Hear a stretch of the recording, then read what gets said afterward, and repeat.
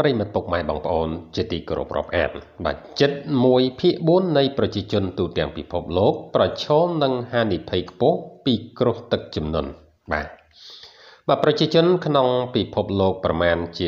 23%បាទគឺស្មើនឹងចំនួនមនុស្សជិត2000លាននាក់បាននឹងកំពុងបន្តប្រឈមនឹងហានិភ័យខ្ពស់និងដោយផ្ទាល់ពីគ្រោះទឹកជំនន់ ដែលចេញពីសមុទ្រទន្លេ ទឹកភ្លៀងនិងព្យុះក៏ដូចជាការបែងចែកចំនួនប្រជាជន និងភាពក្រីក្របាទនេះបើតាមការស្រាវជ្រាវចេញផ្សាយបាទក្នុងទស្សនាវដ្តី Natura អឺ Communication បាទនឹងការប៉ាន់ស្មានរបស់ធនាគារពិភពលោក ដែលចុះផ្សាយដោយសារព័ត៌មានបារាំងបាទគឺ France 24 បាទការសិក្សាបានបញ្ជាក់ថាហានិភ័យនៃគ្រោះទឹកជំនន់ធ្ងន់ធ្ងរនៅប្រមាណឆ្នាំខាងមុខនឹងកើតមានឡើងដោយសារការប្រែប្រួលអាកាសធាតុសកល បាទដែលបង្កឡើងដោយ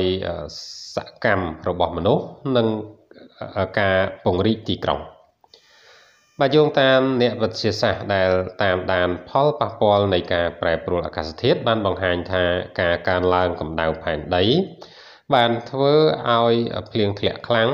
និងកាន់តែខ្លាំងឡើង នៅទូទាំងពិភពលោកបាទហេតុការណ៍នេះបណ្ដាលឲ្យមាន គ្រោះទឹកជំនន់កាន់តែធ្ងន់ធ្ងរទៅធ្ងន់ធ្ងរទៅ នៅតាមតំបន់ជាច្រើន នៅទូទាំងពិភពលោកបាទការសិក្សាខាងលើបានបន្ថែមថា90%នៃចំនួនមនុស្សប្រឈមនឹងហានិភ័យខ្ពស់នៃគ្រោះទឹកជំនន់គឺរស់ នៅក្នុងប្រទេសដែលមានប្រាក់ចំណូលទាបមធ្យម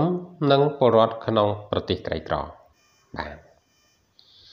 បាទអរគុណសម្រាប់ការតាមដានទស្សនារបស់ប្រិយមិត្តពុកម៉ែបងប្អូនលោកយាយលោកតាទាំងអស់បាទសម្រាប់អត្ថបទព័ត៌មាននេះគឺបញ្ចប់ត្រឹមប៉ុណ្ណឹងបាទសូមជម្រាបលាជួបគ្នានៅអត្ថបទក្រោយៗទៀតបាទ